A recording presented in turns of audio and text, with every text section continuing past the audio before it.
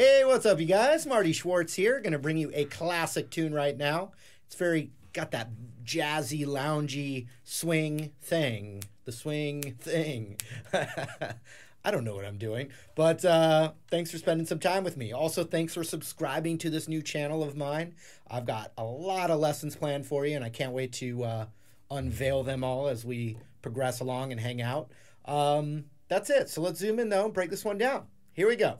All right, so I'm gonna, I'll show you two different options because the way I play these minor seven chords, not everyone uh, is comfortable with those.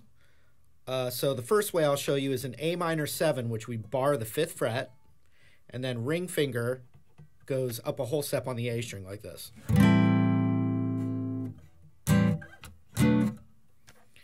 Then I just move it up a whole step. So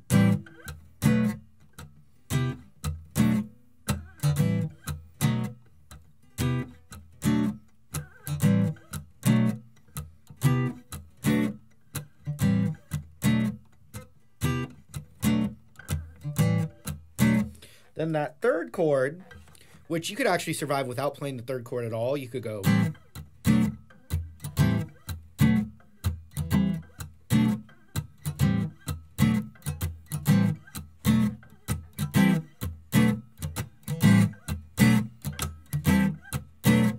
But that third chord's fun, and I'm playing a C major 7 chord, which goes like this. Index finger goes on the root, which uh, not the most important note for this part, but anyway, the, the chord shape I'm using has the root with the index finger on the 8th fret, and then middle finger is on the 8th fret of the B string. So the index and middle finger are on the same frets. Then ring finger and pinky are on the ninth fret of the D and G respectively. And my palm's muting the high E. But if it got in there, it's part of the chord. However, you can do that. So watch. So you have A minor 7, B minor 7, C major 7, back to B minor 7.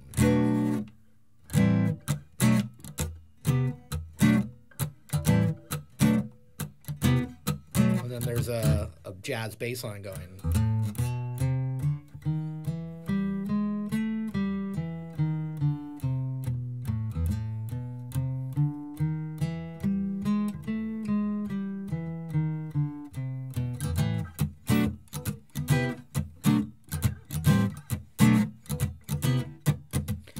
That feel is swing. It's swinging.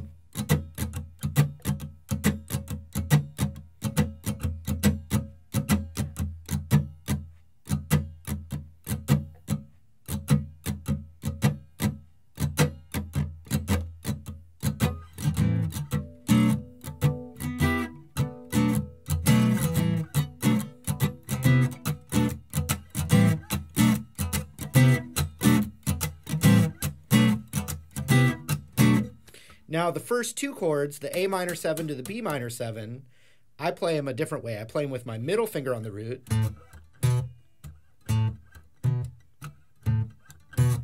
Then I'm using my ring finger to cover the D, G, and B string on that same fret.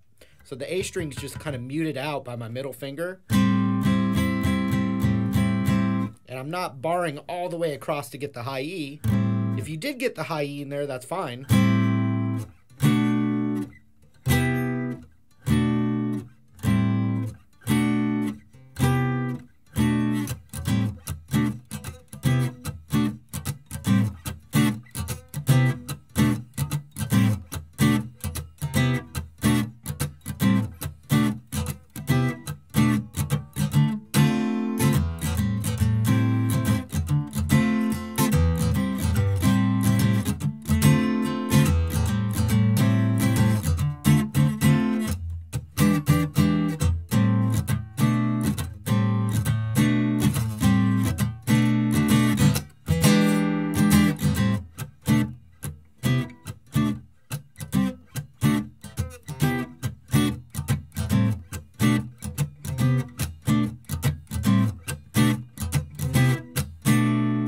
The change is D minor 7.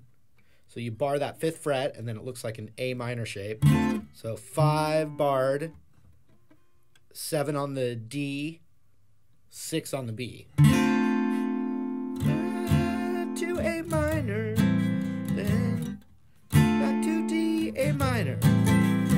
D minor 7, A minor 7, D minor, E Hendrix, then back.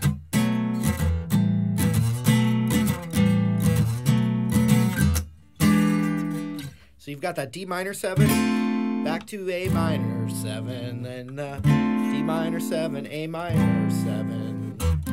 Same thing again, then hits on D, then E7 sharp 9, also known as E Hendrix chord, which is middle finger on the 7 of the A, index on the 6th of the D, ring on the 7th of the G, and then pinky on the 8th of the B. Now, if that's hard, you can play E7.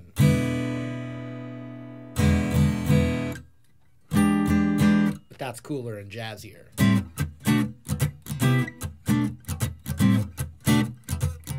Next part.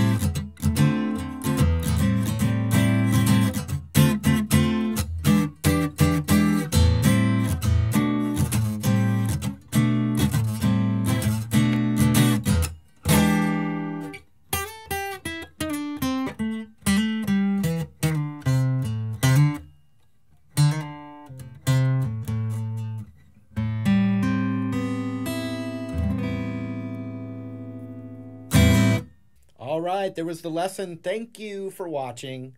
Uh, if there's a song you'd like to learn or a lesson that you'd like me to help you with, go ahead and like this video and leave a comment and let me know. Uh, also, once again, thank you so much for subscribing to this channel. I can't wait to show you all the things I have in store. It's going to be a lot of fun, and thank you for that support. Uh, until then, we'll see you later.